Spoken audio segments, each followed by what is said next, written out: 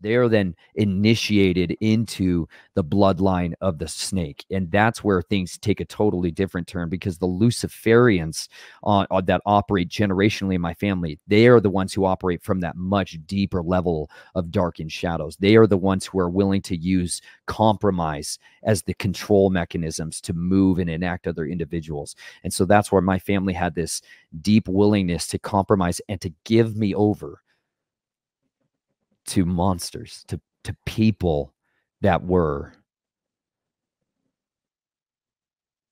evil incarnate.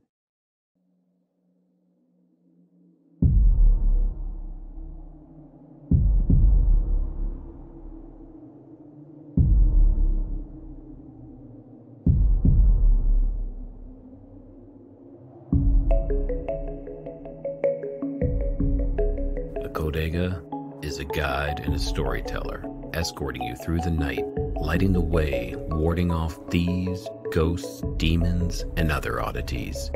Along the journey, his companions would often share with him the most curious of stories that he'd record in his codex.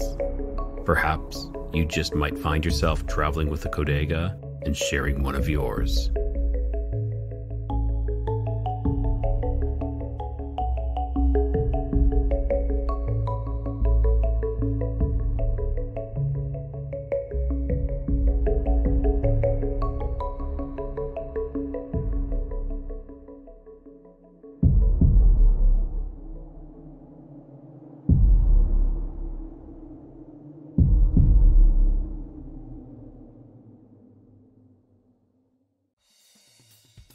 That like. If you're new here, subscribe and have the bell hit for notifications to stay up to date on all of the new content. Hey everyone, I'm Rye, the Codega, and tonight we got a story of the ages to add to my Codex of Curiosities with our guest, Nathan Reynolds. I guarantee you're going to see a lot of things that are hidden come into focus. Perhaps this is going to be a little difficult to hear because it's going to tear down a lot of false facades that we've been told to believe for years, decades, maybe even centuries, maybe even millennia. All right. Now, if you want to help out the show, here's a couple things you guys can do. You can stop by my Patreon, and I got a couple tiers there. You can check that out. Uh, you can deck yourself out in some of my merch at my Printify store. Uh, you can also become a member on YouTube. Now, um, sorry, there's a bug flying around. That's awesome. I'm also I also have an Amazon wish list if you're feeling generous. And finally, uh, you can share the show, or you can like, or you can even comment. That it's mo it's so important if you guys are just interacting with the show, or you can do all the above, whatever you want to do. So all the links will be found in the show notes. And I think that's everything. So it's time to bring uh, Nathan to the stage. Uh, Nathan, how are you doing? Man, I'm living dangerously, brother. How are you? I'm doing good. I'm doing good. This is uh, part two. I mean, uh, my second uh, take on this one, as I totally messed up when I initially did it. But hey, it happens. That's what happens. That's showbiz. That's right, man. Don't you ever worry about it, man. Keep going. so, Nathan, why don't you tell our listeners and our viewers a little bit about yourself and maybe where they can find you? Um, I know you have a book as well. So let's have it. You betcha. You guys, first of all, you can go to snatchedfromtheflames.com. Uh, that's where I have archived and cataloged all of the videos, even the ones that got censored and deleted off different social media platforms. I have uh there oh yeah, dude. You know that the censorship is a real thing. Many people Yeah. are understanding this, but I I fire double barrels continually and sometimes, you know, that happens. But either way, I I do also have my vo- book available there, uh digital format, audio format for those of you that are interested in it. It's name your own price, so don't ever let that be a hindrance from keeping you there. I also did an entire rendering of the the history of the scriptures, audio of the scriptures as well. But I've got hundreds of videos that are on there for you guys. And my main place that I post stuff through though is on youtube.com backslash Nathan Reynolds. That's my main place where you guys can find any of my content. I've got many different playlists on all kinds of topics as Ryan and I are going to get into tonight. We got a lot of different arenas that we can kind of battle into. So there's definitely some of the heavier, more intense, seedy stuff that's definitely more in the snatch from the flames topic. But there's also a lot about the redemptive story and, and the life that we live with natural living and biohacking and natural permaculture and blade design and all kinds of stuff. So it's going to be an absolute adventure to get into with you guys. But I'm really looking forward to, to being here. Wow, Nathan, you're like a, a, jack of all trades. You, you got a little, you know, your wheelhouse is, is almost full. You got so much going on. It's a, uh, it's awesome, man. Like, uh, and and how did this all start? How did you, hmm.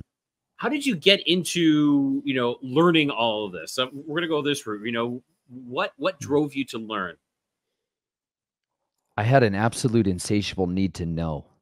First okay. and foremost, I I I recognized that I was born into a house of deceivers and that that never sat well with me and and I was stunted from my capacity to find answers for myself because the I was controlled. I was grown I was raised in an environment of absolute control. And there's going to be some of you who resonate with that instantly as soon as I say that, but the vast majority of you live under an illusion of control or or an illusion of freedom perhaps for many of you too. But I was structured in such a way that the people that were surrounding me and I was bumping into on a regular basis were were connected to and interconnected inter locked with a cult with a with a very deep multi-generational cult. And these are people that were practitioners of a very old religion that was bound to worship the serpent. These are people that were draconians. I mean there's there's no better way of saying it. These are people that were immersed in an ideological belief that they could have communications with these ancient fallen ones. In particularity they were trying to have communications with the nachash or this this great red dragon this seraphim that had been transfigured through uh, horrific amounts of, of alterations. And so my experiences in life were shaped by this lens that was perpetually misty and it was never allowed to be anything other than opaque and it just distorted my reality. It constantly left me between this kind of normalized christian upbringing and then this deep luciferian um, occultism and and there was this massive chasm between those two that was never allowed to be bridged. On one side there was this powerlessness and this weakness and the impotence that i saw in kind of the masses or like the useless eaters as i was trained to believe they were this like stupid people you know people that are just ignorant. And that that on the other side of my life was what was most persecuted most viciously corrected was an intolerance to ignorance. And so there was this constant dichotomy and a war within me about wanting to know what was happening on either side of these dark chasms and this inability to find someone who could build a bridge for me of understanding. And it so it left me wrestling constantly with a need to know and understand. And so all throughout my life, I would have these encounters, I would have these experiences, and I would file this um, them away into this category of my mind, this folder in my mind of TBD to be determined. Waiting until I found a satisfactory enough answer that that itch, that perpetual longing was finally satisfied of now it makes sense now it makes sense because there was this this culture of duplicity this culture of hypocrisy and i never really knew who i could trust and somebody would bring me along and elucidate for me some information or share with me the secret knowledge and I would find out later on that this person was only doing that to manipulate me and control me and beguile me and use me and weaponize me. And so it left me with this absolute hunger to understand. So that's that that seed single-handedly throughout my life was one of the most valuable things, one of the most valuable gifts I was ever given was was an, a love for the truth and a willingness to do whatever it takes to find that truth. Wow. I, I love that answer. Very thorough, very thorough. Now, you said you had a like a Christian upbringing, but also Luciferian. Was the Christian like a, a facade? Like, look at us, we're we're we're this regular family, and then the Luciferian was really the you know the, the I don't know the the roots of the family. Well, on there's there's a few ways to go with that. The first mm-hmm. is my family was was raised inside the military industrial complex. And so just on kind of the more secular base level note of it they had to operate as plainclothes spies that raised their children without being without bringing them into the inner fold of that. You know people that are working for foreign international groups state actors they can't represent that to their children as they're raising them up. They have to be undercover continually. But then they select individuals of the children to be able to be brought into the fold of the secret when they're kind of proofed and demonstrated to be able to hold that. So that's kind of one sector of why there was this constant duplicity and this chameleon lifestyle where we are picking up and moving and there was this this, this there was this training to stay in the land of anonymity. And so camouflage was was the preeminent tool for power brokers. Real power the real rulers of the world are anonymous. That's where power is really able to be enacted against others and to control others. Comes through anonymity. It comes through middlemen and cutouts. It's not the people that you see on the TV and they're saying Warren Buffett has this kind of value, Bill Gates has this kind of value the people that rule the world they sit behind things like the black nobility. They sit behind black robe priests and they uh, they govern society through tendrils of handlers and managers and they raise up those individuals to fit inside that model very much akin to a structured governing society just as what's been operating from time immemorial because on the other side my family were inheritors of what they believe was the seed of that dragon, the seed of the serpent. And because of that, they were imbued with God's power, with God power, the power of the Elohim, the mighty ones, not the most high, but the the serpent and they believed that seed that was in that it was a part of their bloodline gave them superhuman capacities preeminent among those was super intelligence and I mean, higher concentrations of things like intelligence, not just in one specific area, but in a polymath, you know, like in a, in a broad spectrum of genius abilities. Furthermore, it was kind of accentuated in a endurance athletes in a hyper concentrations for visions and hearing and, and an acuteness to smells.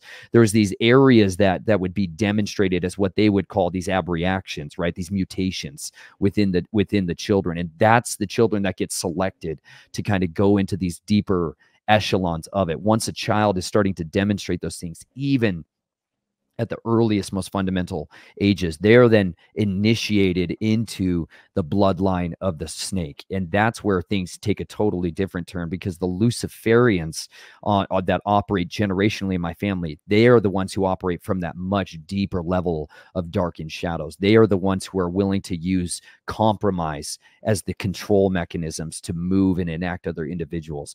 And so that's where my family had this deep willingness to compromise and to give me over to monsters, to to people that were evil incarnate, that that were willing to take their grandchildren. Like my grandfather operates in an area. He's a, a fourth order Knights of Columbus.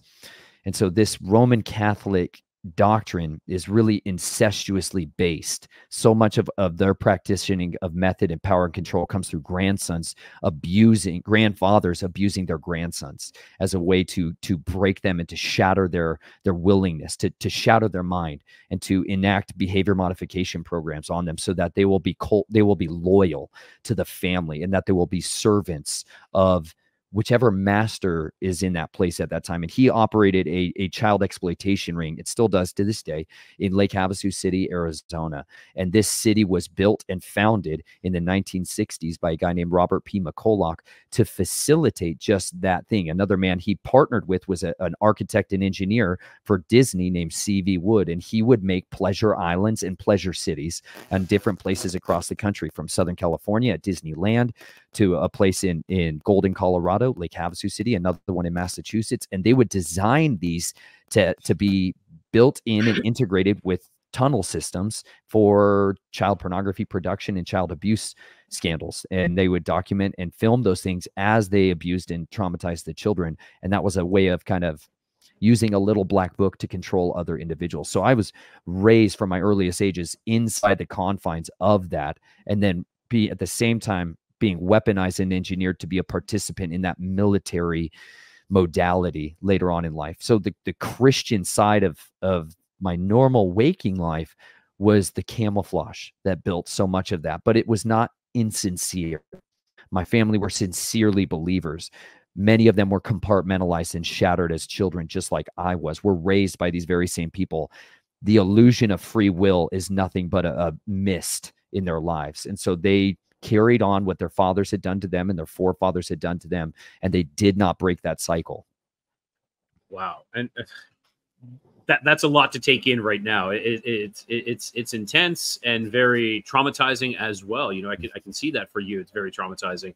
Um, and I'm just from you talking, I can tell that you were one of the chosen ones that were brought into these folds. And um, you know what? I don't know if we want to get into that, but what did that entail? Like, what kind of into this Luciferian um, world? You know, what what was that? How was that? Well, first of all, there's a major distinction and differentiation between there's specificity of terms, like okay. really important here. Yeah. Luciferianism is somebody, this is not the same as Satanism. Okay. Yes. Satan and Lucifer are distinct characters, distinct entities. They're often junctured and thrown into the same pit of darkness. Luciferians are people that are trying to balance and assimilate the left hand path and the right hand path of occult workings, dark magic, black magic, and white magic, good works. They are embracing two sides of internal system programming. They're embracing two sides of yin and yang that they can in, in assimilate those two ideologies that godhood, that apotheosis ascension comes through knowledge. That is the the the, the basis with which they're yes. they are appealing to an invocation of knowledge, secret knowledge predominantly, knowledge that has been passed down through the adepts, through through the initiated ones, the illuminists, the ones that are holders of that knowledge will bring in selected individuals. People that have this bloodline are fast tracked in from a different way because they have a spiritual intimacy, uh, an ancestral knowledge base that they can tap into spiritually that that enables them to to grow in knowledge much more readily. And so that's why these gifted and talented children and families they are brought in and recruited very heavily even if they aren't raised by a generational family they are sought out and they are deliberately brought into this as much as possible so the Luciferian ideology, though, is much of that embracing. They are followers of Helel ben Shahar, as he is he is described. Lucifer is a Latin name that's adapted much later on in time, but this is the the howling one, the shrieking one, the the the the one who more welcomes the morning suns with screaming. And so much of that that embodiment is the one who bears forth light and yet is internally nothing but darkness. So that that occult working that is brought forth in many of these rituals like when I was when I was 6 years old there was a you go through a lot of conditioning early on through just intense trauma intense abuse every kind of it until you're woefully broken of your of you're convinced that you can never fight back. And so as like the final climax to that there is an initiation ritual that was done that involved a a man being brought in who did horrific things to children that I had witnessed, that others had witnessed and I was finally given an opportunity to fight back and punish this person.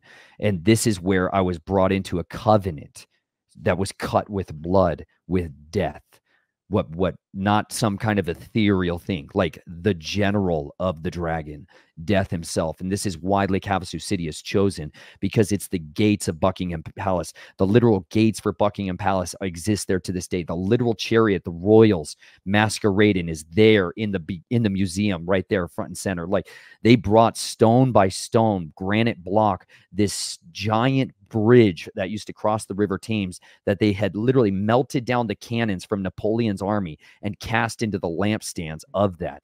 They this this is a very charged object, a portal that they would practice immurement where they would sacrifice people by burying them alive inside the foundation blocks of the stones. This is documented in the history of the London Bridge. 80 more than 80 bodies were uncovered in 1960s when they started dismantling it and bringing it over here. They found children's bodies, they found women, men, all different ages inside the walls of it. This is where the nursery rhyme, the, the London Bridge is falling down, comes now, from. I, you know, I, I have something. In. Yeah, I got to jump in here. So, Go for it. Are, are, you saying that they use the bodies as almost like a mortar to keep the bridge up? Is that a possibility? That is, there's a there well there's twofold in there they're used in mix they will grind up and if if they go through certain rituals they will grind the bodies into ash and mix that in with the mortar itself Yeah. That's one practice that is literally to hold it together. The second practice, though, is they are built and laid inside the foundation blocks themselves. So those those are two different purposes that are served. A lot of mortuaries to this day, the Reynolds family owns a tremendous amount. That was one of their biggest business ventures was moratoriums and funeral homes because it gave them a lot of access to human remains. And so they still use that as ways of pouring and mixing into the concretes after people are have been literally burned up to ash they mix that into concrete and then they use that for building foundations. And so the initiates are able to go there knowing that that building has forever a portal open to it that it's laid its stones in it. And but the london bridge has documented um, aspects of this. And so inside there there are these maintenance tunnels that interconnect with a deep underground military base there that was established in the 1940s called site 6 the united states army air force at the time Army Air Base was established as a rest and recuperation stopover point between the deserts of the Mojave deserts and over there in Phoenix. And they built underground infrastructure there to facilitate it during wartime.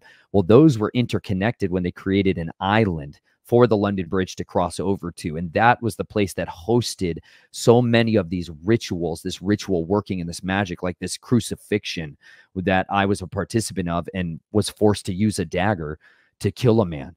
That that is what really brought me into embrace luciferianism to embrace this this covenant keeper of death that i would be an enforcer for him that i would be imbued by him with powers to go and enact his will on the earth. I wanted power to fight back. I wanted power to execute justice.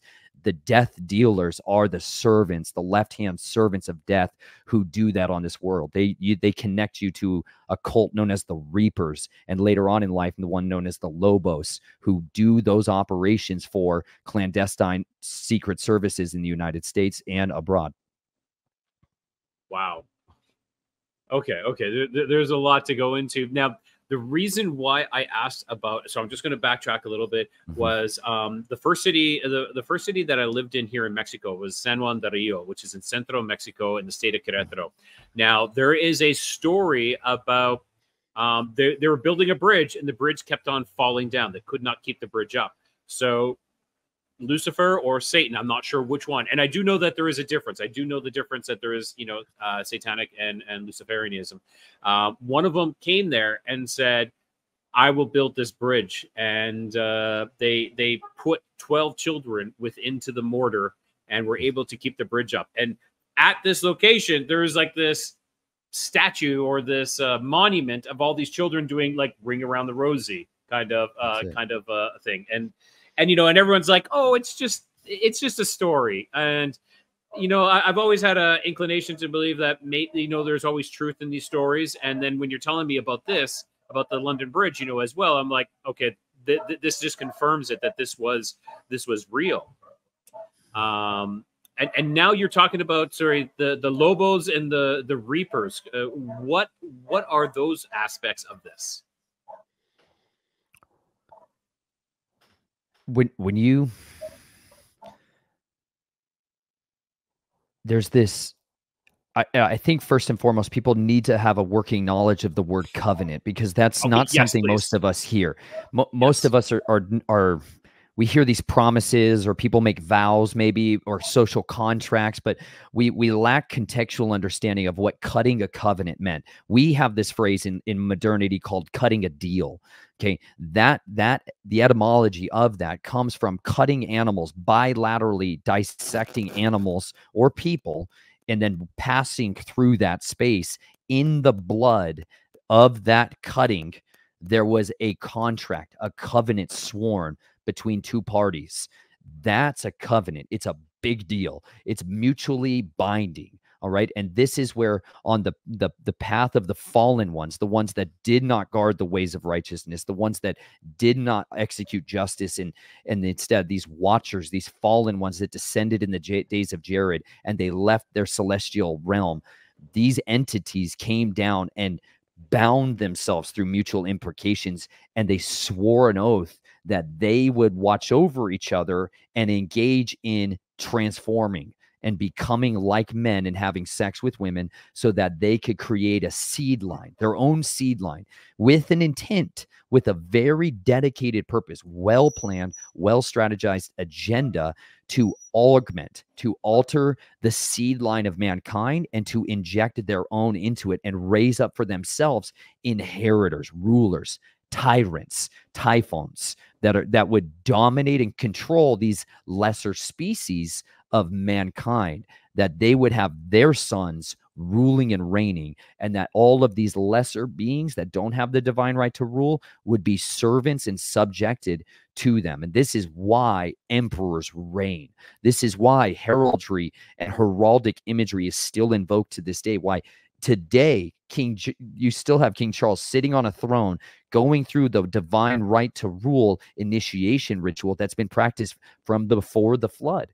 These things are very very critical for establishing a an absolute right that the gods would enforce that the immortals will enforce what i say goes. And so that's what covenant actually means. When I entered into that covenant, what I took on was this is my part of the deal. This is your part of the deal. My part of the deal was I want to be able to have power over my enemies. I want to be able to do anything to assault, murder, sneak, and sub. I mean, I want to be able to be a subterfuge agent against this kingdom of evil that I saw predominantly personified by people that were engaging in child abuse and and those that covered it up. That for me was what I wanted more than anything in the world. And they offered to me the ability to engage in that through their priesthood. That priesthood were practitioners of this old religion that came from the Americas, that came from Central America, in particularity, Huachiblos, the fire, the the the literally the one that the Aztecs endorsed and worshiped through human sacrifice and the calling of these serpent deities, ultimately, so that Quetzalcoatl, the plume serpent, would rule over them and establish peace and dominion. But Huachiblos was the fire serpent that would do these horrific things. And so this priest class was the one who my family had found and discovered their books. My ancestors had discovered this priest class books in mounds that were up here in the northern Americas. And then they opened those up and began to summon these serpents, to summon these foretelling spirits, to give them insight into the future so they could grow in power. So that covenant that was cut with me gave me the ability to be a part of that kingdom. And at the same time, it also offered me the ability to join up with these murderers. That's it like the end of the day that's that's what death dealers really are. They are people that execute violence on other human beings. They stalk and hunt men period. And that's what I, I wanted to do. And so that's what i got initiated into when i was a young boy. But as i got older the mentors come along the tutors come along and now you begin to have a second version of schooling versus what all your other classmate gets. And for me, that's the art of silent killing. And that's what they excelled in tremendously and the art of blending in. Holy cow. Okay. So the, the so so the, this this second schooling, you know, with these tutors, um, what uh like where was that in in house or were you kind of like in in school and taken out almost kind of like you know they have like the you know like the uh, like uh, like MK Ultra kind of thing, or or what exactly was the second schooling? Like, how did that happen? Well, well, so much of the the behavioral modification stuff had had taken place in the formative beginning phase of it. That's what that's what they call it brutes. Okay, this is like somebody that specific job is to shatter and and to it, initiate the computer software programming of the initial blank slates of the personality. That's what takes place from I mean, really utero in utero all the way into those formative years before six, seven, eight years old. By then, it's really the system is built and locked in and reinforced. And now it's a matter of dispensing from the little black book of programming codes which personality you want. So those are what are given out to handlers specifically. So you can have, like for me, a lot of what I went through in the beginning phase was being used and abused for child exploitation. Can't so that that happened a lot for me, being abused sexually for many years of my life.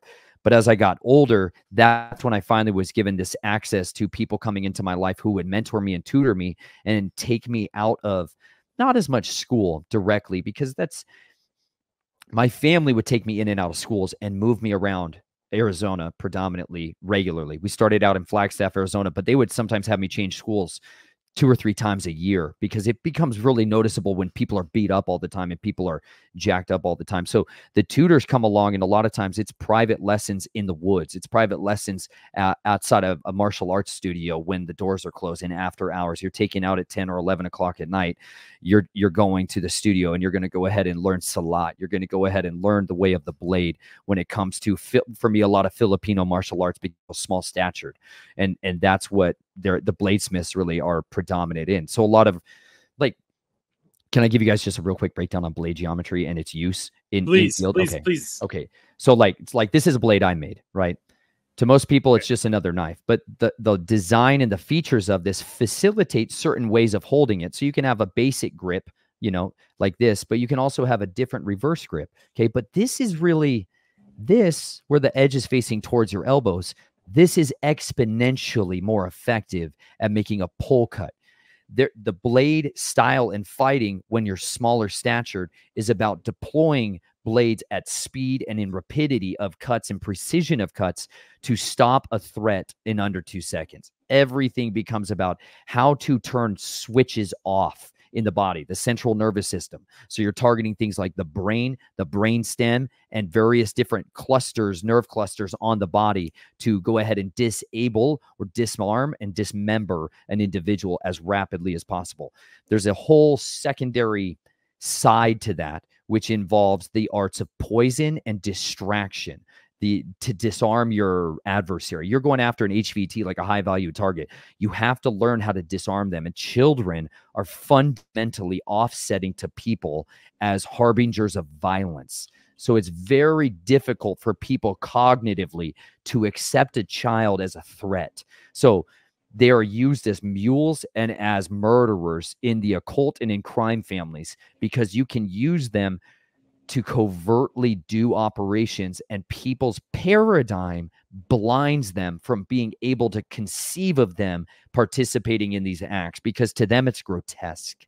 To them it's uncanny. To them it's it's unnatural. And that is all you need that that microcosm of a half second stutter step for somebody to resist feeling the violence that's taking place, to feeling their life force going out of their body when you're draining a timer and you're cutting a femoral artery and they're bleeding to death and there's nothing they can do to stop it because they're going to die and they're trying to process I something happened to me, but this child's the one who did it. That is why that's why they're so much utilized and because they have legal protection. The vast majority of the states in the United States have legal protection for children under the age of nine years old, sometimes 11 years old, that they cannot be prosecuted for what are called these grotesque acts or murderous acts. They think they literally, a child is not physically capable of comprehending this, therefore they can't be prosecuted. So they're utilized by this within the military industrial projects for targeted killings on hardened targets. You can get a child to sneak into a hotel room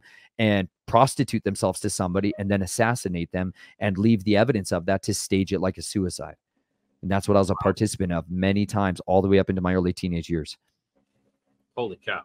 That's that's that's deep. That is really, really deep and and and shocking, you know, like disturbing as well. You know, that's crazy. And but somehow it's I don't want to say believable, but it is because yeah, let's use children to do to do this exactly like you said. You as a person, you're not you don't see a threat. A child walking up to you or a child, you, they're they're not a threat, you know, and and they can get in. You allow them in. You allow them close because they're not a threat. It's uh, it, it's crazy now.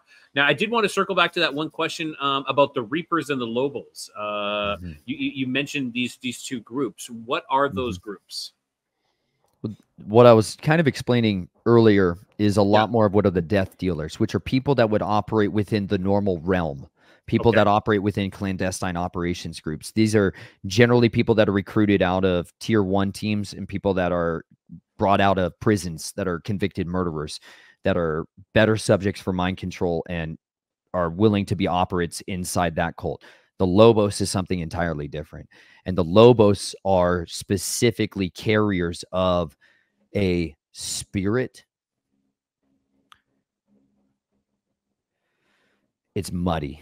It's super muddy because there there is a hierarchy in lone wolf assassins and these are these are splinter cell assassin teams that operate autonomously and occasionally interact with each other but the whole premise is built around a hierarchy of alpha beta gamma delta epsilon. It's it's utilizing the greek alphabet to individualize agents inside it and they operate autonomously to do targeted killings predominantly for people that are a part of the family, the mafia, people that are a part of the Illuminous organizations, not not loyal to the government that they may be currently serving it's they're they're self-sovereign and self-determinant entities. They might be infiltrated into the united states army like i was. They might be infiltrated into the mexican army. They might be infiltrated into the afghan army. They can be in all kinds of different positions but they're sleeper cells. They're manchurian candidates.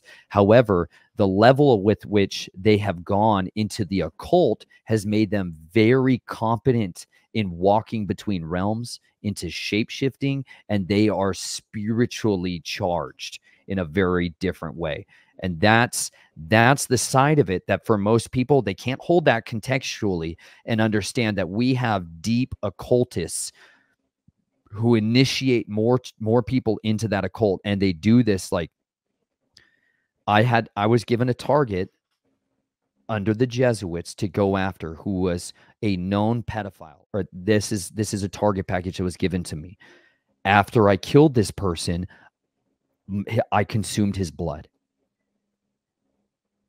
this is part of how you bring back DNA retrieval. You can bring it back by by bringing it into your body and then regurgitating it later. It's a way that you can collect DNA evidence on somebody and then go ahead and confirm the hit was successful without having to bring an ear back. You can't mark the target in the same way.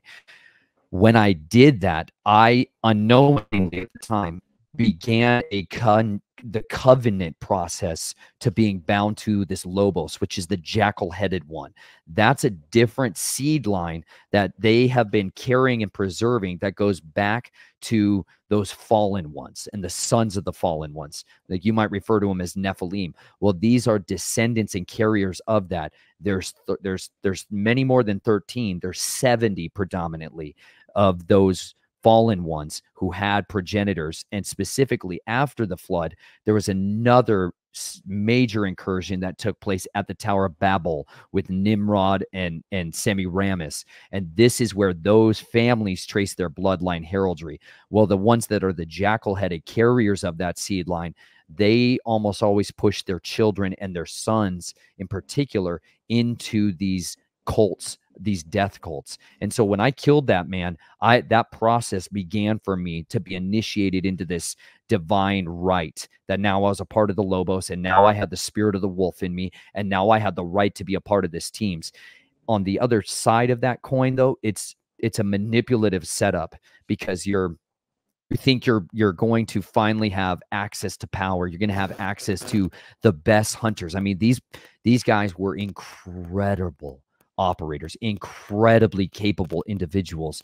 And when I was later on in my young teenage years, when my family went out to Colorado Springs, Colorado, so that I could be a part of the Air Force and be later a part of the United States Army, I was rescued from a use during a ritual by this Lobos team. Actual active agents on the team came and raided this group of pedophiles, killed some of them, captured and arrested some of them and set me free to go back home. I at that time met my handler for the the Lobos and the person who actually helped me get initiated into it and get special access projects clearances the guy who fast tracked me into the United States military so that I could be positioned in a place of power and control for them to be able to operate from wow do, so do you feel that they they made this um where they rescued you from? Do you think that they actually planned that so they could actually rescue you and be like the savior kind of uh of, of sort like that sort of sort of persona? Oh yeah man. I this is that goes back to that first question about what what's reality and what's the the theater show. That yeah. those those things you sit and chew on for endless hours later on in your life trying to figure out was that just a charade? because later on when I was 17 years old and I got emancipated to the United States Army and I started being a part of those teams, I got to see how quickly these operations where I would go in and do wet work and I would kill somebody and I would make sure to extract evidence or plant evidence against them. I got to see how often it was duplicitous. How when I came in there and rans- rescued somebody out of a, a human trafficking experience and I got them to a safe house, only to find out that there was an entirely different pedophile group that was going to take them into that cult.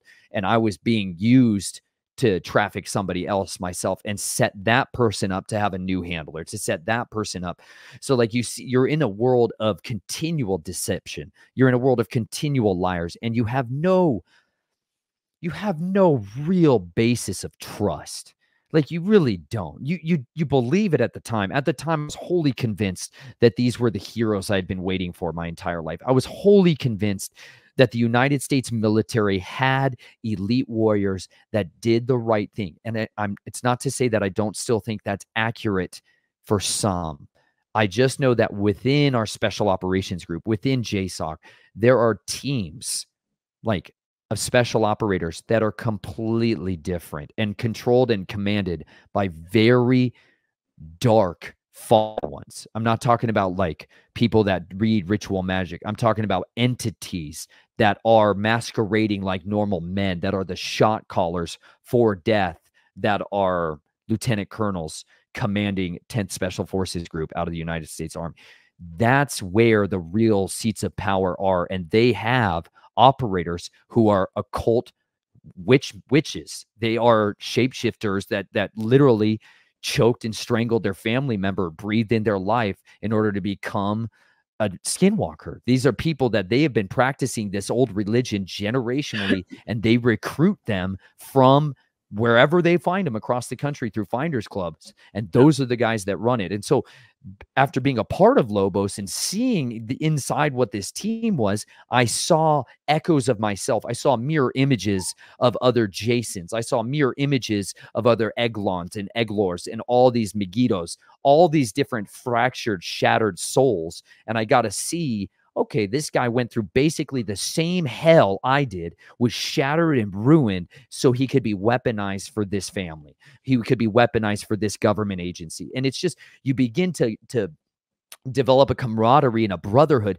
because you've been born into suffering. Like you've suffered your entire life and you are absolutely tired of it and you want nothing more than to execute these idiots that are masquerading as pimps and prostituting children and you are wholly convinced that all somebody has to do is unlock the door and let you loose and you will devour them and you're like these are my buddies I want to hang out with. Like on one side, you genuinely love each other. On one side, no one else on the face of the earth, not even your wife, who you sleep next to every night, can ever understand you on such an intimate level as somebody who has been there, as somebody who has known what it's like to be powerless for so long, and then to finally be the man with the gun.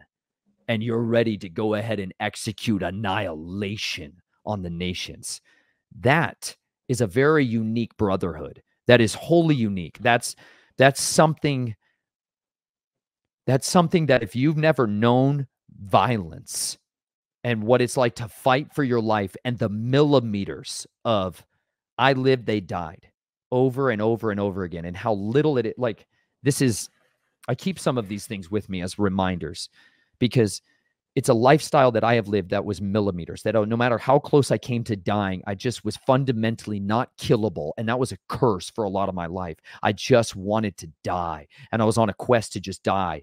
Please, someone kill me. Kill me, please. I was longing for it. And on the other side, I was desperate to be the one doing the killing so that I could control who finally met their maker and was held accountable for their crimes. And it was a very heavy burden to carry. And I got to meet men and I got to meet people that knew it well and they were well versed and well adept at being ghosts in the darkness. Wow. That, that, that is a great way to put it ghosts in the darkness because that, that's that's really what it is it's yeah that that I, I, don't even know what to say. It, it, it's something that is so profound. You know, like w- what you're saying is, is so so profound. It's so it's it's so difficult to understand, you know, because of course I've never experienced that, and just just hearing that, it's just I can only imagine, only imagine, you know, like you're you're you're in this balance, you're you're playing this balance beam type of game, like you just someone kill me, but I want to be the person killing other people as well, you know, I and I'm just unkillable. It's it, it's it's it's crazy. Now, now you had mentioned shapeshifters as well. So these people were were granted some sort of shape-shifting ability. And I know I know we mentioned skinwalker, and I know people get very pretentious about that, saying, "Oh, that's a Navajo term," you know, that's this. But uh, it, it, it's sometimes we just call it that because that is what they've done. You know that that is. I know that I know that's a specific term, but it, it's a good term to to use as like as what you're saying. And so these people would sacrifice one of their loved ones so they could have this power, then, is what you're saying. It's, I mean, that's like the culmination of a training. That's that's okay. one event, a cardinal event, but it's an event along path. But these are witches, right? These are warlocks. These are people that are that are incumbent by a familiar spirits, legions of spirits that are embracing knowledge, a specific form of knowledge that's weaponized evil. You know, it's not just that, it's it's tormenting people. It's learning how to traumatize, to disorient, to distract, to disturb people and to make their lives hell. There's this like psychological operations is how we would say it today. Okay? They they are adept at at crawling around in grotesque and putrid ways to like it what happened was we when I was when I was I grew up in the White Mountains of Arizona for a season. It's got this area called the White Mountain Apache Reservation. There in on that reservation, there's some of the best witch doctors anywhere. And those witch doctors are for hire. They're money men. Okay. They're Balaam. There's no difference. They are willing to be hired out to special kill teams and people that are part of the combat operations group. So the global response security staff teams and the scorpion teams. And there's Wolverine teams, all these other other government agencies that are in the black book side of the world. They can come in and hire these witch doctors to teach them the arts of stalking prey. On one side, there's a very carnal, physical way of learning how to walk through a forest, learning how to walk through a building to where your target doesn't detect you, how to help suppress sound, how to use sound dampening materials, how to physically maneuver your body in space and time so that you're mitigating the acoustic features of what we call breathing and swallowing. That's one side of the, the skill set they teach. But on a deeper layer, they can teach you how to be a shadow walker. It can teach you how to split the realms of people's perceptions and to astrally project yourself into their space and to manipulate their environment to cause them to go crazy. You know, this is where there's things like what we would think of as targeted individuals. On one side, there's a very spiritual component to that. On another side, we have technological toys that people use to make people's skin burn, to use microwave directed radiation weapons, to, to torment people, to use voice to skull technology. That's all the high tech stuff.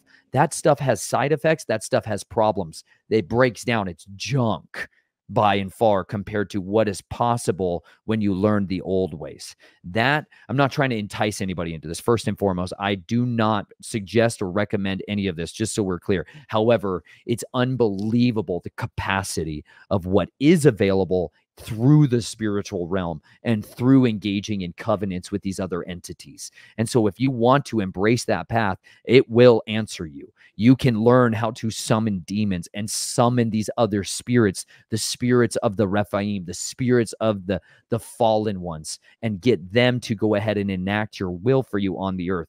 When that begins to take place and you become to be a portal you yourself being the portal now. You don't have to go and get the cursed objects. You don't have to go and cut the stones and and drip somebody's life onto. You don't have to do any of that. When mm-hmm. you are the host for the parasites, they come with you as your familiar spirits. I had these familiar spirits, these other guys that were going through these trainings, went through ritual magic to be imbued with these spirits from the master to the apprentice, the breathing in of this life force so that they then had the power. It's a very parasitic, very perverse relationship that involves a lot of homosexuality and a lot of disgusting consumption of unclean things, uh, horrific things, digging up graves and defiling infant corpses. I mean, disgusting, horrible stuff that's used.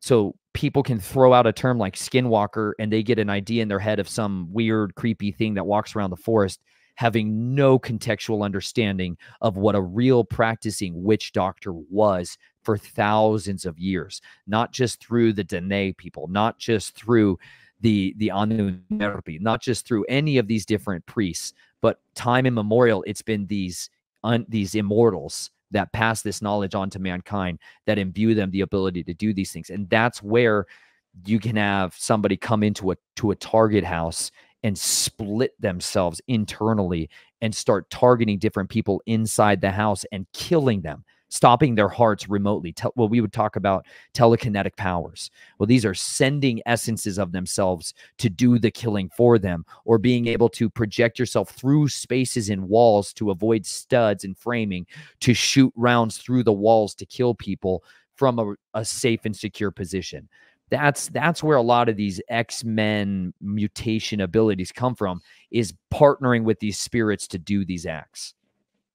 Wow the and, and and a lot of times I think a lot of like Hollywood is giving us like the soft disclosure, you know, like the truth in plain sight. You know, when you're saying like these X Men type of abilities, I think a lot of it is is stuff that we know that we know that's possible or that's happened, and and we're trying to make it look fun and interesting. And oh, look at this, you know, don't you want to be like this? Don't you, you know? They have kids, you know um, almost worshiping these types of uh, mutants of, of sorts, you know. And it's and and, and I was going to bring this up. It's kind of like when you're talking about like the psychological warfare that's happening. I, I feel that it's kind of been ramping up more and more lately. Like I I feel that you know like this perversion of of reality is happening more, where people are becoming. I I, I would just say that there, there I see it more and more that there's people making or, or doing things that you never see in the past. Like it, it, some of the stuff is just happening. Maybe maybe it would happen in the past, but it's more on a grander scale. There's more people that are actually falling uh, falling prey to this psychological warfare that's happening right now. And and you know it's it's all the left and then the right. And what they don't understand, it's the same thing. It, it, they're both being orchestrated. They're both being controlled, and it's I, I, don't know. I don't know where I'm going with this, but I just I just find this interesting when you're talking about the psychological warfare. Um, it, it's it's I think it's happening all around us constantly, you know, and it's it's it really helps to unplug uh, unplug from everything. Hmm. I think you you fundamentally hit it on the head that in order to actually be an authentic person, an individual with self-sovereign thought and actions because these these thoughts are what modify our behavior. You know what you think about?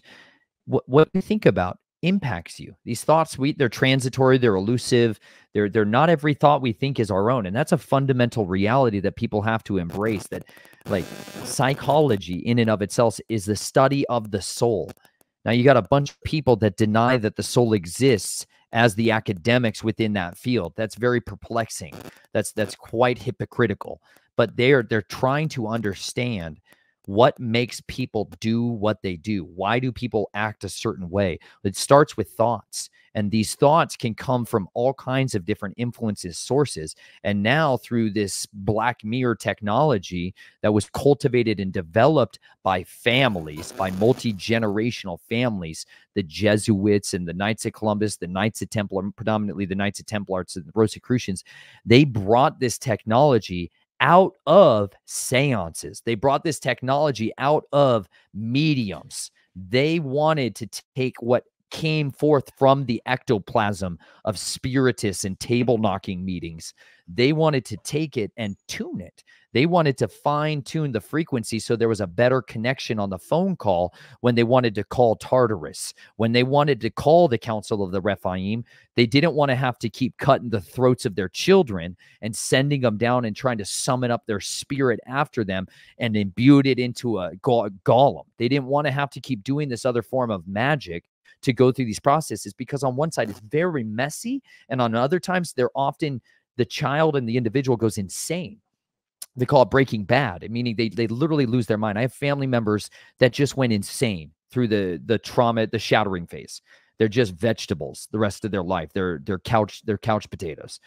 The reason they seek out geniuses and they seek out high IQ is so that they can split off more and more pieces of that mind without it losing the whole as a sense that shattering process you know like one one of the acts of what's done is like a soul is bound up they got high tech in the mid 90s, right? When I was kind of going through this stuff, and they started experimenting in Phoenix, Arizona. There's some really freaky, perverse doctors that did a lot of human experimentation, and they're holdovers from the the the the Third Reich.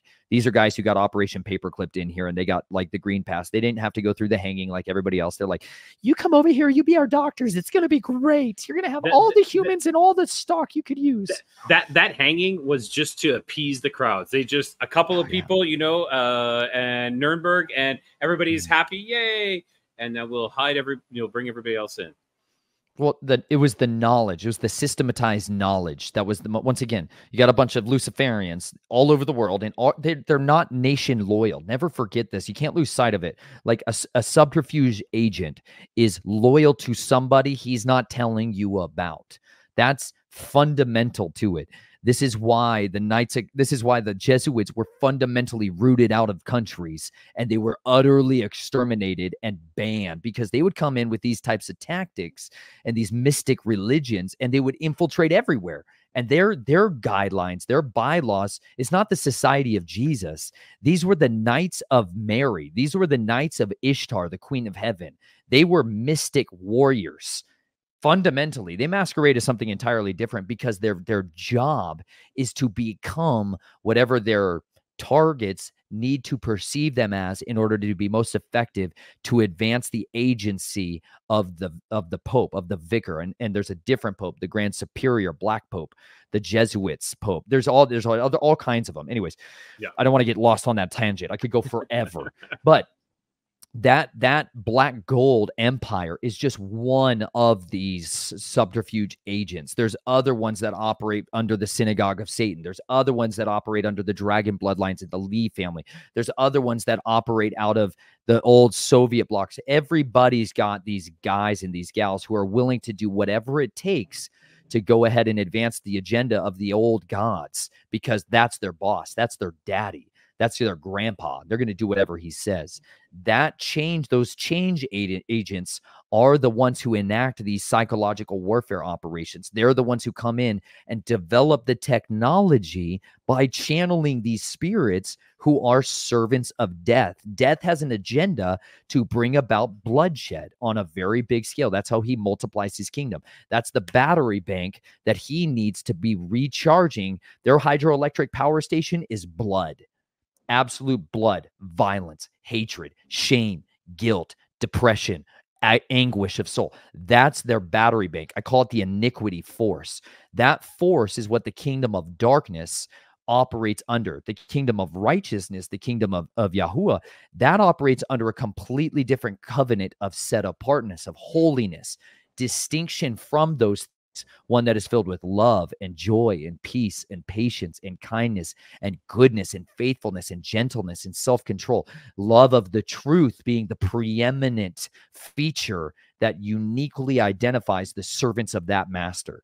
That's a very different individual than a master of a servant of death who is willing to lie, to cheat, to steal, and to do whatever it takes to rip out the throats. Like if you read these oaths of these people that you were forced to swear in these ceremonies, they will disembowel. They literally curse their children to the third and fourth generation if they don't come and walk in their ways and keep the secrets.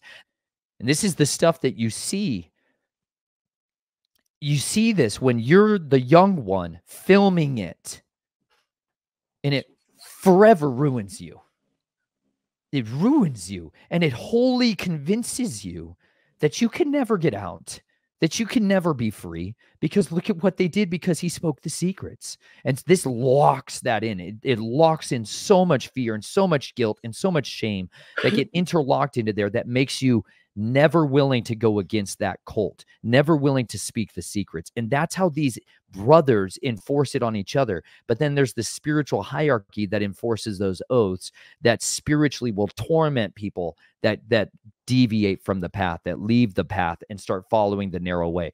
This is how these these things operate. And in Phoenix, Arizona, one of those doctors began to develop a technique for killing somebody and bringing them back to life by freezing them, cryogenically cooling them down, taking the blood out of their body, putting it into a machine that cooled it down rapidly, putting the body in a state of stasis. That that began to be adopted by these occult practitioners so that they could go and have conversations in the realms of Sheol and in with the fallen in the Council of the Rephaim. That got pioneered there in Phoenix and Lake Havasu and Tucson, where a lot of people were fed into that human experimentation pr- program to try to perfect that to bring them back to life so they could then tell everyone hey what do the old gods want us to do what is what is our ancestor saying our marching orders are for 2021 that that's how these things are actually communing with the fallen ones Crap. You know, it, it, it's. I don't even know what to say. It, it's something that's so so deep. Like you you know that you know you know there's darkness out there, but you don't know how dark. You don't know how deep, mm. how far they're willing to go. You know to to further their agenda, and you know to further the the old gods. It's it, it's terrifying. It is absolutely terrifying. You know I I had I had a good idea, but you know listening listening and talking to you tonight, uh, it's kind of. It, it, it's not for the the the lighthearted. You know, it, it's it's really really severe. It, it's it's this is this is the reality. This is the reality that we're facing. This is the reality that we're going up against. And and I, I have a theory on something. You know, like considering that we are going up against this, I I find that this this psyop or this game that they're playing that um let's talk Q, QAnon, where it's like, oh, just you know, trust the plan, trust the plan, and what they're trying to do is get you to do nothing. They're trying to get you to sit back and absolutely do nothing. And it's like, oh, this is happening, this is happening, everything is happening. Just just sit there on your couch and and just keep keep watching uh 4chan or something like that, you know, and and and and your marching orders will get will get printed out. But in the end, you know, we are the ones we've been waiting for. You know, we have to be our own hero of our own story. Uh, we can't wait and we can't wait for someone else to to you know bear that cross we have to do it ourselves we have to be the ones man i could not agree with you more that weaponized information warfare that is being enacted you know okay to jump you up in the story a little bit to lobos and an overlap yes. of the, the where q i know some of you guys are going to be pissed it's you guys got to do your own research and understand that sometimes the weapons are turned against you because change agents have been put into society to enact the controlling of the opposition, right? If you got it, if you haven't studied guerrilla warfare through history and time, like it's just one of the study the East India Trading Company, study the British Empire, study the Jesuits, study study how people, colonial empires took over nation states and vassal colonies. Study the invasion and the conquest of Mexico by Bernal del Castillo. Like, study the works of history, firsthand source documents of how the SAS operated during World War II. Like, all of these things are peer reviewed, publishable documents that are now declassified that you can read for yourself and learn. Hey, if I forensically examine history and I go ahead and learn what are the telltale markers, for me, that's been a thorough examination of history from the scriptures, not just the Bible versions I got, but the vast majority of the texts that were laid out not chronologically to author confusion, but the texts that were given and preserved by people historically for thousands of years. As I began to do this and study these things, you start to learn some telltale things that are when they find a trick that works on mankind, The immortals will recycle that over and over and over and over again. And it started with a few fundamentals when the, the dragon of old, the great red dragon in the, in the garden, he whispered a few one-liners. Just a, just a couple of little suggestions from this great, shining, fiery, awesome, beautiful, majestic, glowing giant serpent in a tree, right? Seraphim. Nothing like a little rattlesnake eating an apple. At Gummit, we've been programmed by a bunch of idiots in felt boards and Christian schools and Catholic schools and, and TV programming. It's not a bitten apple, y'all. The most incredible deceiver in all of creation executed a psychological operation against mankind to get the deed, to get the keys to the kingdom and the rights to rule mankind. You don't do that through, hey, hi guys, I'm some scary dragon and I want to eat your souls.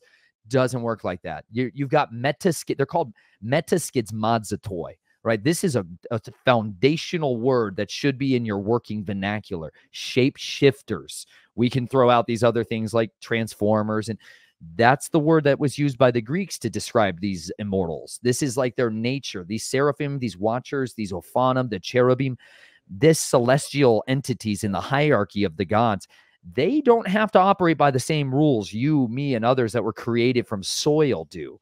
Because of that, they can appear like anything like your worst nightmare or your best friend. And that that is literally what happened. The beguiling act of what took place in eden was a promise of godhood you will be like one of the elohim you will know good and evil, right? There was these promissory notes that were offered, just like a bank says, we're going to loan you the money. Meanwhile, they're lying to your face. There's no loan issue. This is a promissory note. This is magic money. This is how we create the money in a system where there's not actual money, but now you're going to believe there is. And because you believe it, you'll obey. Remember, we talked about thoughts, belief, and obedience all interlock when you believe the authority figure is authentic.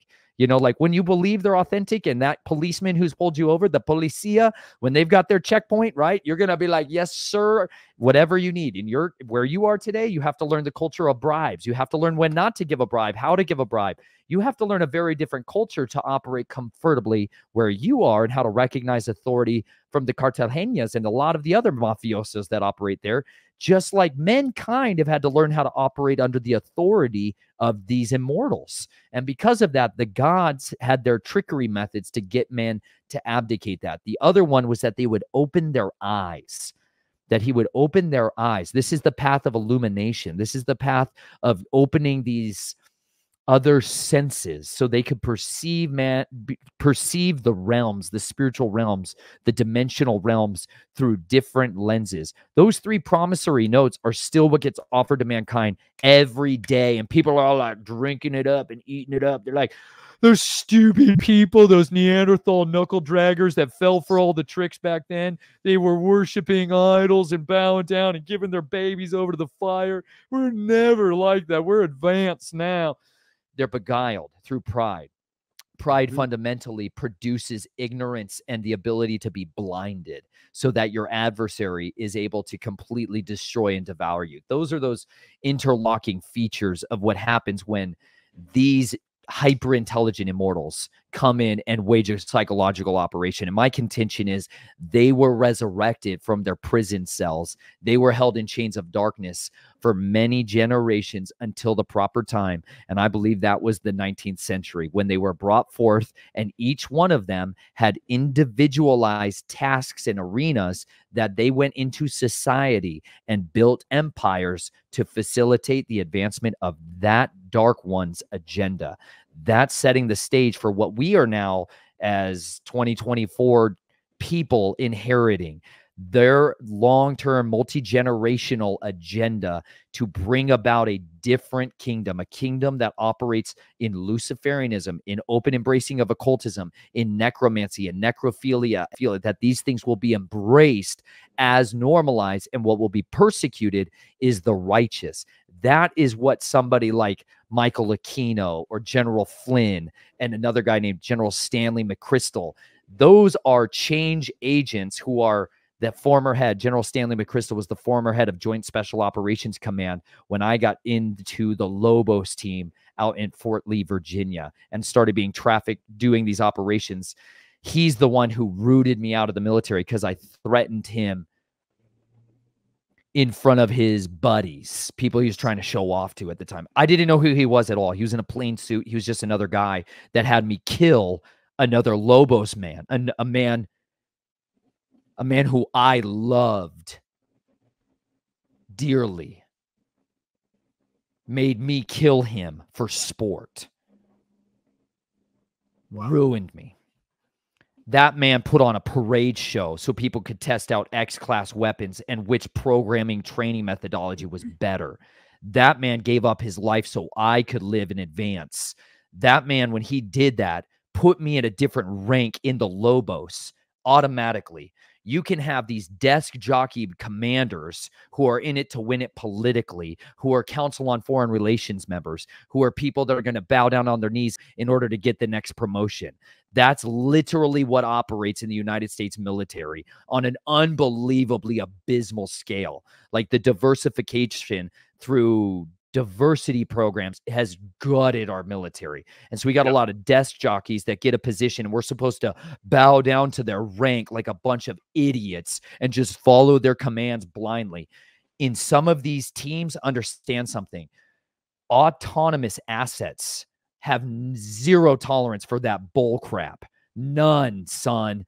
And so I set off a chain of events in that moment in Fort Bragg that I didn't fully comprehend at the time because I was stinking 18 year old who'd been living through this hell and was finally doing what I've been waiting to do my entire life. And that guy with a very different agenda in mind wanted a fast track to the Joint Chiefs of Staff.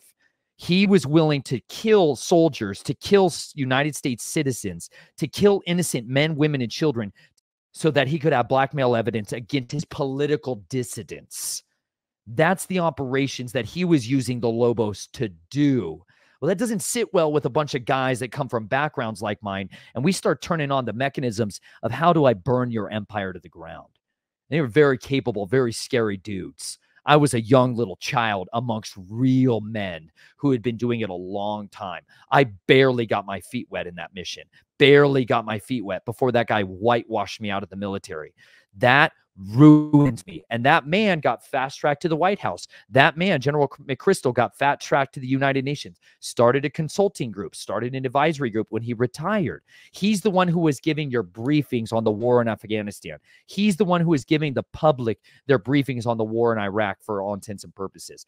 That figurehead is a yes man for the dark agenda, for these elite Luciferians. He is somebody who pulls the strings on the public scale to do that. He partnered with another man, General Flynn, excuse me, who they founded a consulting company there in Alexandria, Virginia, where we were operating Lobos assets out of a safe house that had been used formally and established in 1940s as a Red Cross command station. It was a, a place where spies could come and interact and get things passed between each other. And that's got a tunnel network to all of these houses of powers. They took over that building in 2014 and started a, a consulting company that literally began to work with lobbyists to pass bills and policies to finance weaponized warfare against false news, against people that were conspiracy theorists, against truthers, and and starting to create what we would now look at it, things like QAnon and people that come on there and harass you. You think they're bots. Well, these bots are developed by a bunch of guys who sit there financed by the government to try to fight what they think is counter espionage activity. They think it's foreign assets and, and espionage that's being used against the Defense Intelligence Agency and that's being used against, you know, Indian Head, Maryland. And they're like, well, no, we're trying to figure out which of these are actually Russian nationalists who are trying to infiltrate to get out our newest explosives, right? They're using it for very different means and preterists. But you got a lot of guys who take contracts for any amount of money to go kill and destroy the lives of people. They don't care who, they don't care why. I just want to get paid $100,000 a year and have my guns and my kit back. I'll do whatever you want. Just give me the guns. Just give me the monies and money and leave me alone. Those guys get activated and sent after people to wage an information war, to wage a discrediting war, character assassination war, and at the same time to gather and collect and galvanize the leaders from within there to hold them in a position where wait and see follow the orders, just follow the white rabbit. Eventually, he'll lead you out of here. And whatever other NSA tactic that they're doing to recruit people in through cryptography and cicada and all these other tendrils of this same mm. beast. But what you'll find at the end of it is so many of these players who have been willing to compromise so fundamentally that they are treasonous to their core and they fundamentally must be rooted out. And people may need to take action personally, individually, collectively in their own house.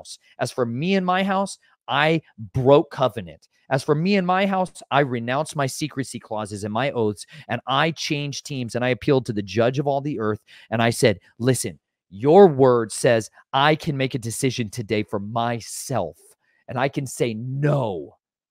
No, my wife got pregnant with my child, and I knew I had a choice to make. Do I bring her into the families and get all the trust fund and all the riches and all the power my dad had and his ancestors did? Or do I separate myself from them and become state's witness and whistleblow against these monsters for the rest of my life and lay out for people what has been effective for me at finding truth, at finding deliverance, at finding the power of the King of Kings and the Lord of Lords to drive the darkness out of my life and give me a new authority, a new covenant of life and peace and hope that was found through the blood of the Messiah, Yeshua of Nazareth. That for me is what helped to set me free and give me the ability to wage a war against these people without bringing with me the spiritual baggage of these fallen ones. Amen, brother. Amen. I'm, I'm, I'm so happy to to see that you know you found you found the light. You know, like mm. the, I I think that would be a, a whole nother episode of you telling us about that journey. You know, t- mm-hmm. to the light. But I'm glad that you're there and you know like this this world that you lived in for you know i'm, I'm going to assume maybe like 20 years or so you know this world of darkness it, it it it did its number but but by being there and seeing all that you you know what they're capable of so that you have the the the, the wisdom and the knowledge to bring it to the light and say this is what they're capable of. You know you guys you have to all be aware that this this these things are going on. This isn't just a story. This is this is actually the truth. This is what's happening. And for the love of god you know ready yourselves. That's right. Be courageous, be a man. You know, that's what they've done systemically is to make men weak, to remove from them their balls that castrate us all. You know, they've done it chemically, they've done it psychologically, they've done it spiritually, they've done it relationally, and they've castrated our ability to resist. They've made us soft, they've made us weak, and they've made us comfortable and complacent. And it's the most dangerous thing in the room is a bored man most dangerous thing in the room is a man who abdicates his responsibility and is no longer a shepherd, is no longer a guardian, is somebody that just, yeah, you can go ahead and take my wife. just give me my Netflix and make sure my Amazon packages show up on time. I don't care. Just make sure I get that on time. Do you understand? I want, I want, I want, I need, I need, I need, instead of I lay my life down for my wife. I give up everything for my family. I give up everything for my family, my neighbors to know the truth, to be free, and to walk in that freedom. I sacrifice my time, my energy, my dreams, my desires so that they can have those things. Like, I am living a very off grid lifestyle right now. On a large portion of that is so that my daughters can be free. I, I work by the sweat of my face like a migrant worker so that my children can know what it's like to choose for themselves this day what they want. Like I want them if they're like, "Ah, dad, I really want to raise birds." I'm like, "You got it, honey. We I will do everything I can to orient my life and navigate my life so that you can raise animals. You want to raise heritage birds. You want to raise these exotic horses. Like whatever I got to do, honey, I want to make sure they have the opportunity to see their dreams come to fruition, to let their talents express themselves and find the right people to make their life excellent." Like I don't want to take them and use them as a money bank to get rich. But a lot of men are willing to do that. A lot of women are willing to do that. They divorce their children and shove them into primary school and they get let them be raised by the sons of the dragon. And they wonder why they turn out all freak show level idiots. They're like, I don't know why they're useless eaters. I don't know why they're just completely going along with this agenda because you gave them the right to rule your children. You abdicated, you divorce your children when you send them away to school as a five year old, as a four year old, as a three year old, as a two year old, as a one year old. You're handing them over to the mind controlled monsters, and they are far better at behavior modification than you ever will be. So you better learn how to take ownership of what you've been entrusted. If it's just you out there, if you're the 10 year old, the 12 year old, the 20 year old that's watching this, you have the opportunity to choose this day whether you're going to be a man or a woman of discipline, a someone who is willing to put in the hard work to do the hard things, like read a book. Here's a big one. Well worth it, right? This is called In Plain Sight Old World Records in Ancient America by Gloria Farley. You know what this is? This what is one of those things that we talk about these like Rosetta Stone that helped us to finally unlock ancient Egyptian. Listen, y'all, this country, this continent is the oldest place that people have been living. The Americas is where all the oldest everything took place. You're looking at some Fertile Crescent place. It's over here in so many ways. But that's not conducive for manifest destiny and slaughtering and butchering and killing all the original people here. So they're like, hey, new propaganda piece. We need to rewrite all the history books and slaughter all these people off so that we can enact the next layer of the new Atlantis and Francis Bacon and the Rosicrucians agenda. So blot out anything in the Americas that shows that there was advanced civilizations and brilliant, articulate, capable people.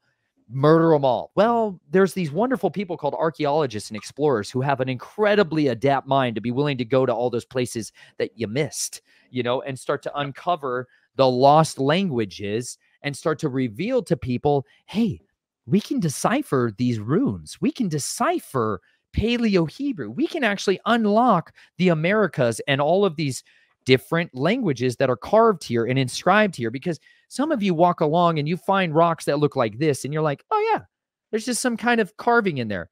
You have no idea that these are literally like so many of these runes come from people that came from the Nordic regions of the world and they were coming over here like a highway. And then we got other people from Africa. We got other people from the Amazon. We got other people and they would leave their carvings like we tag the graffiti on the walls in the bathroom stall. You know, they're like, I lived here.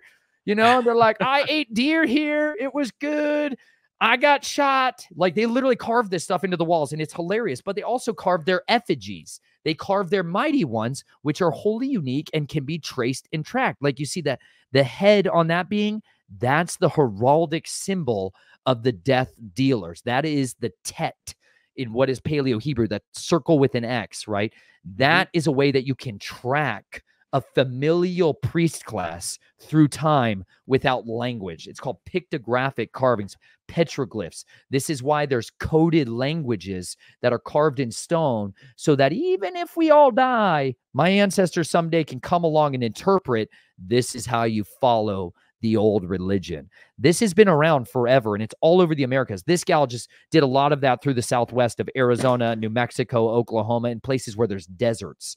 But it's all over the Americas too, even out where I live in the Appalachian Mountains, right? There's petroglyphs with thousands and thousands of these symbols, same symbols carved onto them. And they're like, it's just some kind of Cherokee Indian thing, you know, a couple years old, maybe way older, but we don't really want to look into it. That obfuscation of history is starting to the facade's breaking down. But if you would take the time and learn a discipline called reading, comprehending, and being able to communicate that, you can take what's in this book and change the course of history for many other people. Genesis 6 conspiracy, Gary Wayne, bro, you had on. It was a savage episode. Yes. I liked that episode. But this guy's put in the legwork of forensic historian so that you Yeah. could understand their agendas and read it from yourself from firsthand sources. Like, not my opinion, their words.